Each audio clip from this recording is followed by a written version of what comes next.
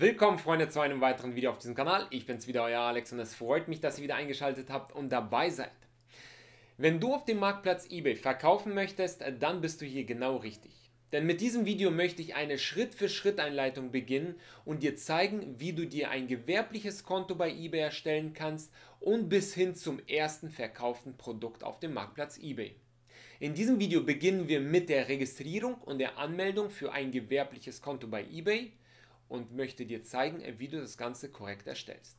Viel Spaß bei diesem Video, ich freue mich, wenn du bis zum Schluss dabei bleibst. Ja, Freunde, wie angesprochen, lass uns mal einen Blick drauf werfen, wie wir denn bei eBay ein gewerbliches Konto erstellen können, was wir beachten müssen und wie wir das Ganze erfolgreich aufziehen können. Falls du neu auf diesem Kanal bist und dich interessieren solche Themen und du möchtest die Schritt-für-Schritt-Anleitung für den Marktplatz eBay, aber auch weitere Marktplätze nicht verpassen, abonniere gerne diesen Kanal, drück auf die Glocke, so bleibst du immer auf dem aktuellen Stand. Und falls dir dieses Format gefällt und du noch mehr davon sehen möchtest, dann gerne Daumen hoch jetzt schon. Das motiviert mich für viele weitere Videos und wir können hier als Community gegenseitig uns unterstützen.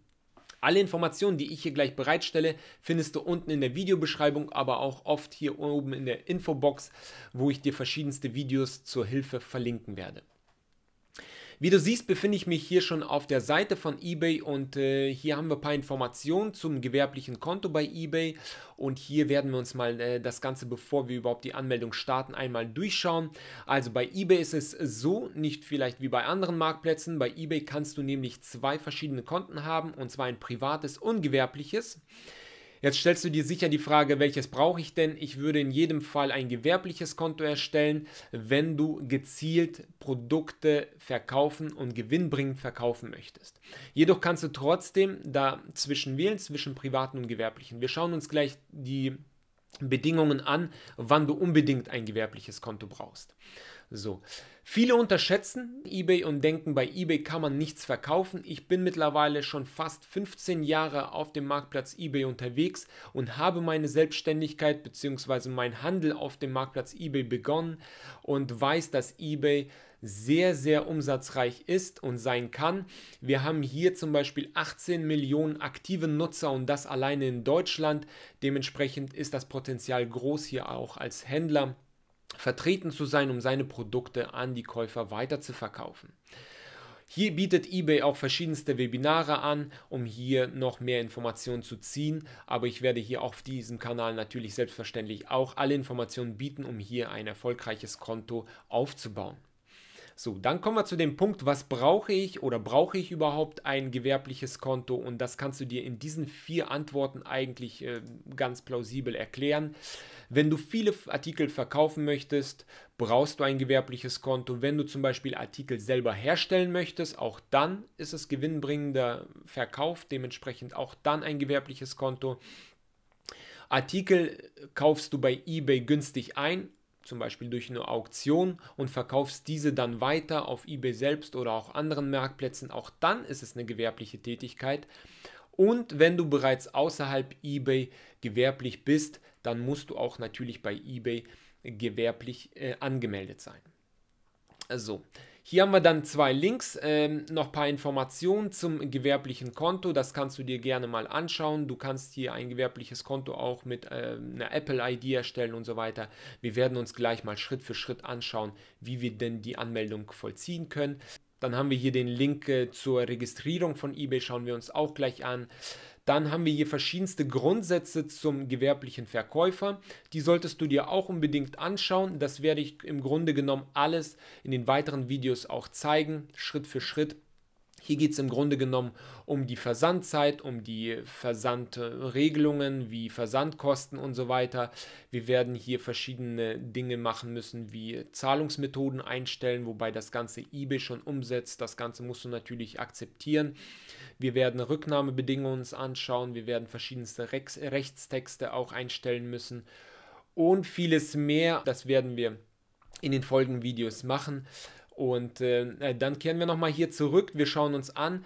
Wir haben hier auch die Möglichkeit bei eBay ein Shop-Abo abzuschließen für verschiedene Shop-Modelle. Das muss nicht unbedingt sein, zwingend, aber in vielen äh, Hinsicht kann es Vorteile für dich bringen, wenn du viel verkaufst. Äh, hier kannst du selbstverständlich dann Gebühren einsparen und gegebenenfalls auch viele Vorteile nutzen.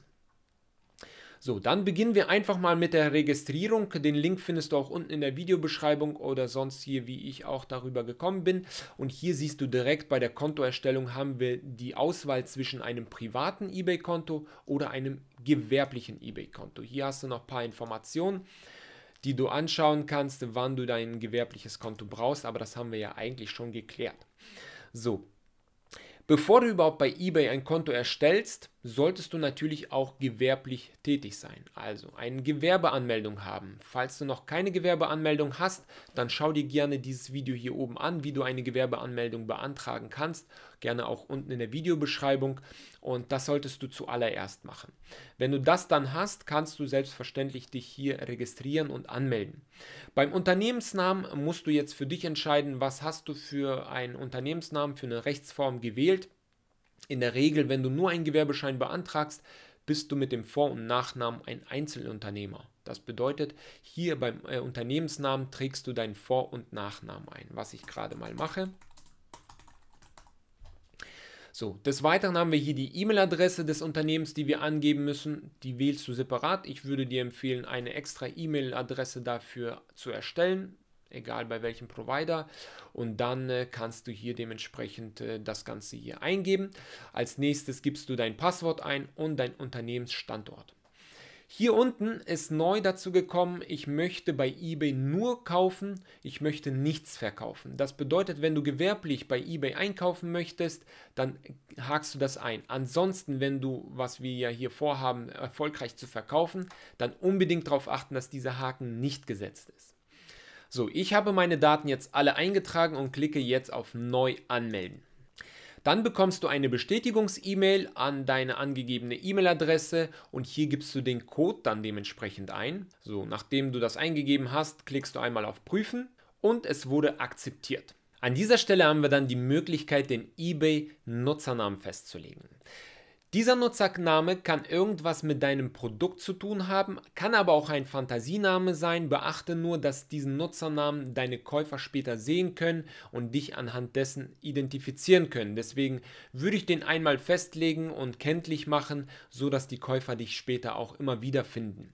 Du kannst jedoch diesen Nutzernamen immer wieder ändern und falls du den jetzt gar nicht angibst und noch nicht weißt, was dein Nutzername sein soll, dann wird es dein Vor- und Nachname sein. Du kannst es später später in den Einstellungen, wenn du dann richtig startest, ändern. Ich gebe jetzt schon mal meinen Namen ein. Beachte bitte, dass du äh, keine Leerstriche haben darfst, also Unterstriche und äh, Bindestriche gehen wohl. Zahlen kannst du auch wählen, ansonsten bitte nichts anderes. Äh, das akzeptiert eBay nicht.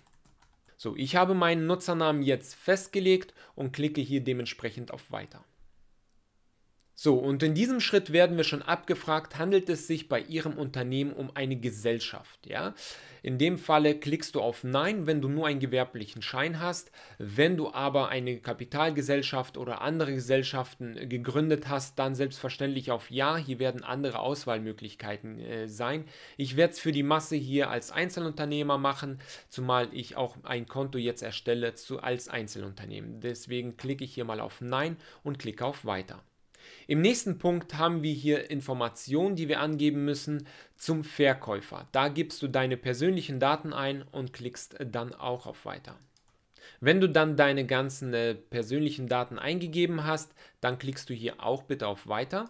Ganz wichtig ist auch die Telefonnummer korrekt anzugeben, denn hier erfolgt jetzt eine Authentifizierung und Bestätigung deiner Handynummer und hier kannst du das Ganze per Anruf oder SMS machen. Ich mache das eben mal per SMS und dann bekommst du auch einen Sicherheitscode als SMS zugeschickt, was sehr schnell geht, wie du siehst. Ich gebe es direkt ein und klicke dann auch auf Weiter.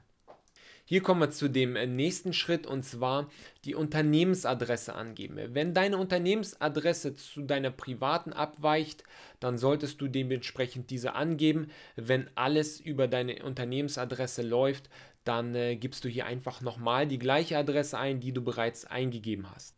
So, wenn du das dann getan hast, klickst du auch nochmal wieder auf Weiter. So, in den nächsten Schritt müssen wir unser Bankkonto festlegen. Das ist das Bankkonto, wo natürlich Gebühren abgezogen werden, aber natürlich auch die Erlöse eingezahlt werden oder überwiesen werden. Und hier musst du dementsprechend deine Bank jetzt suchen. Deine Bank sollte im besten Fall ein Geschäftskonto sein. Wenn du aber bislang noch kein Geschäftskonto hast, dann kannst du selbstverständlich auch deine private Bank erstmal nutzen. Später kannst du das Ganze nochmal umstellen. Wir klicken auf Finde meine Bank dann äh, kannst du hier dein Online-Banking anmelden. Ich klicke auf OK, ich hab's. Und hier gibst du dann äh, deine IBAN ein, äh, deine Bankleitzahl oder den Namen der Bank. In meinem Fall ist es zum Beispiel die N26 Bank. Wie du siehst, hat er die direkt gefunden und wir können hier auf Weiter klicken. Wenn er dann dieses Ganze gefunden hat, klicken wir auf Öffnen Sie Ihre Bank und wir gelangen ins nächste Fenster, wo ich mich dann mit, meiner, mit meinen Bankdaten einmal anmelde was du auch tun solltest und dann kannst du bei deiner Bank äh, den, äh, die Zulassung erteilen, dass eBay darauf Zugriff hat, beziehungsweise dementsprechend ein SEPA-Lastschriftmandat erteilt wird. So, wenn du das Ganze dann vollzogen hast, wie du siehst, wurde meine Bank dann ausgewählt. Wir sehen hier die IBAN, äh, die Endnummern der IBAN und somit äh, wurde das Bankkonto mit deinem eBay-Konto verknüpft und du kannst hier auf Weiter klicken. So, im letzten Schritt haben wir hier nochmal das Prüfen und Bestätigen der persönlichen Daten sowie die Bankdaten. Und hier schaust du das Ganze einmal nochmal durch, ob du alles korrekt angegeben hast. Wenn es nicht der Fall ist, kannst du nochmal zurück um die Daten zu ändern. Ansonsten, wenn alles passt, klickst du einmal auf Bestätigen.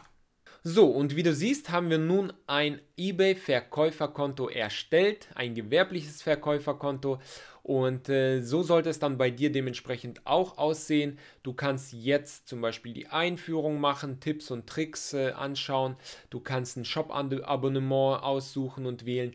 Das Ganze werden wir in den folgenden Videos äh, bearbeiten, uns anschauen, wie wir das Konto denn komplett auch rechtlich einstellen. Deshalb äh, schau dir das nächste Video unbedingt direkt an. Falls noch nicht geschehen und du alles nicht verpassen möchtest, abonniere gerne diesen Kanal, drück auf die Glocke, so bleibst du auf dem aktuellen Stand. Falls dir dieses Video hilfreich war, dann äh, gerne auch einen Daumen hoch, das motiviert mich für viele weitere Videos. Ich bedanke mich fürs Zuschauen und freue mich, wenn du beim nächsten Video dabei bist und wünsche dementsprechend viel Erfolg beim Kaufen und Verkaufen. Alles Gute, ciao.